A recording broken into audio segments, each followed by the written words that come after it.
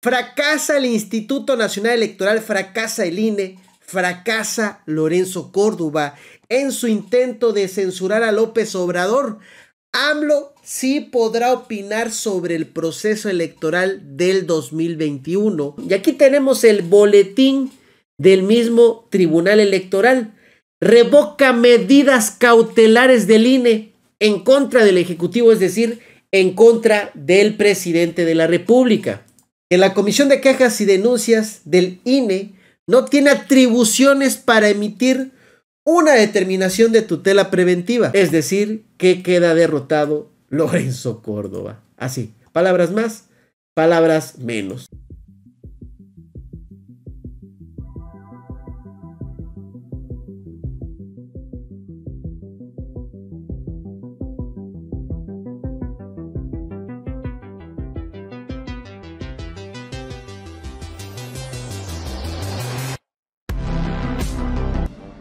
Bienvenidos amigos a una nueva información más. Mi nombre es Jesús Domínguez reportándoles para Estadística Política. Antes que nada te deseo que tengas un excelente día. De igual manera te invito a que le des me gusta el video y lo compartas en tus redes sociales.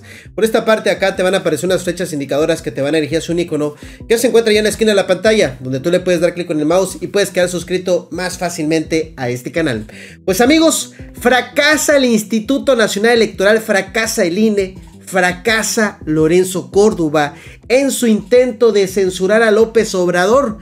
AMLO sí podrá opinar sobre el proceso electoral del 2021 y nada más y nada menos que lo resuelve el Tribunal Electoral del Poder Judicial de la Federación.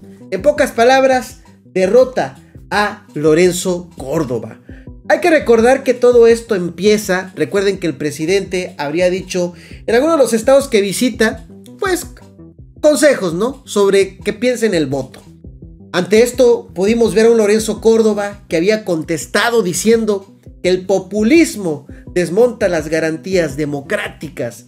Recuerden que el presidente ha dicho, pues si me dicen populista, que me apunten en la lista.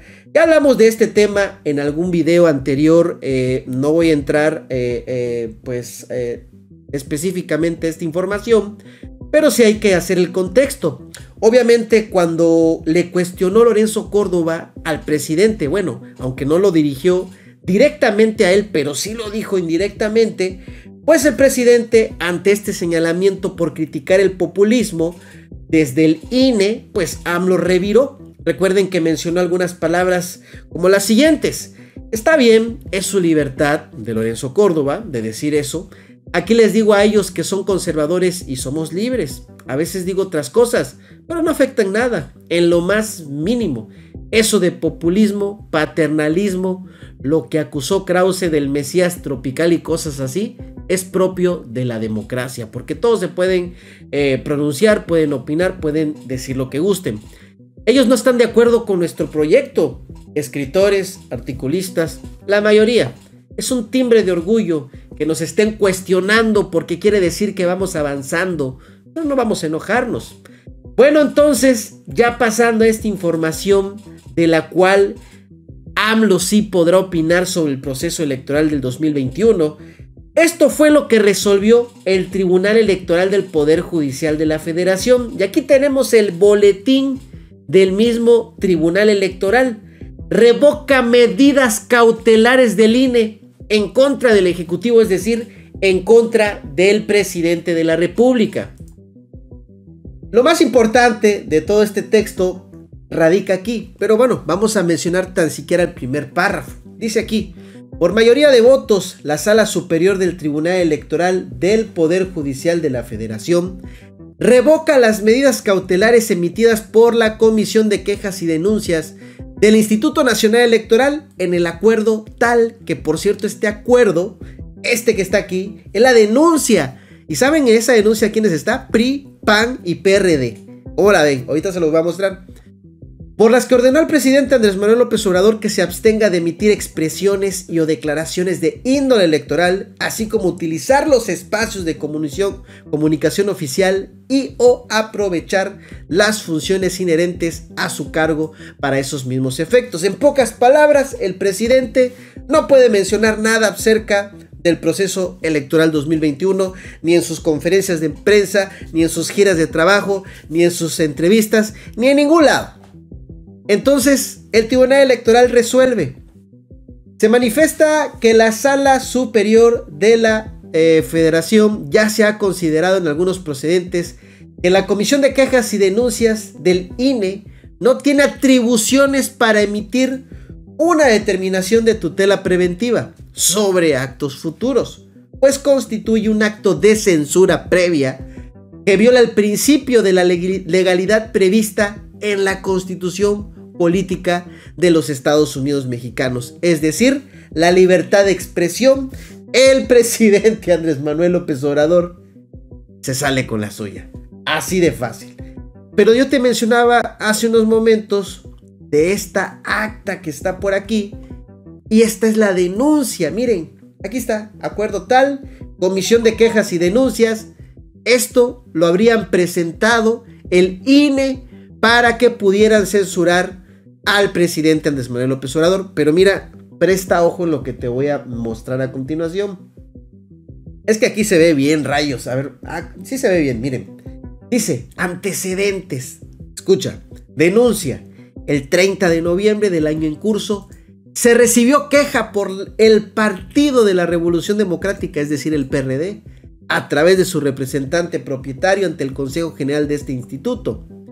El uso indebido de recursos públicos atribuibles a Andrés Manuel López Obrador, presidente, derivado a que durante su gira por Baja California realizó diversas manifestaciones que a juicio del quejoso invita a los ciudadanos a reflexionar su voto en favor del partido del gobierno. ¿Cuál? El, el presidente ya no tiene partido.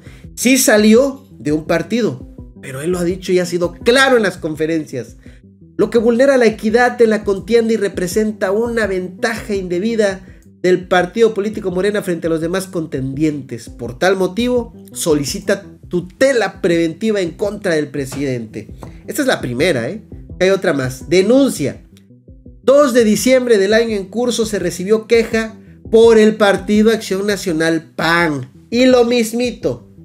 Bla, bla, bla, bla, bla, bla. Uso indebido de recursos públicos, promoción personalizada, llamado indebido al voto. Y vean el PAN también lo mismo. Por tal motivo solicito que tome las medidas cautelares idóneas y bajo la figura de tutela preventiva se haga un llamado y se exhorte al presidente. Pero están canijos los, eh, los prianistas, los perredistas. Obviamente, pues no se va a quedar atrás los priistas, ¿no? Y dice aquí, otra denuncia, 2 de diciembre del año en curso, escrito por...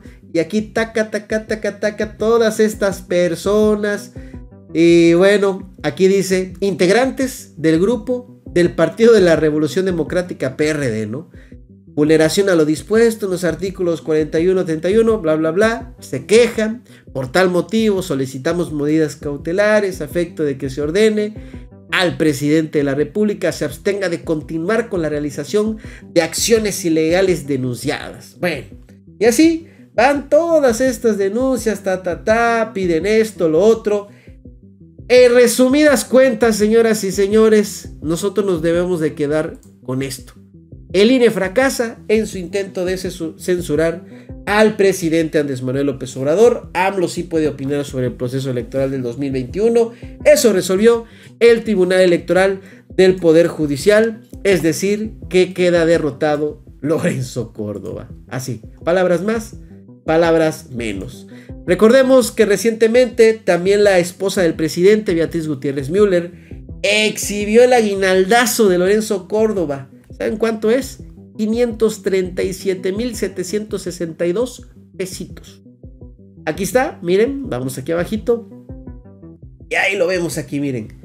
Aguinaldo, 537.762 pesos. Eso es parte de lo que recibiría Lorenzo Córdoba. Pero miren aquí, sueldo. Esto obviamente es el, ingreso anual de Lorenzo. Sería el sueldo de 3.152.808 pesos más las prestaciones que son todas estas de acá.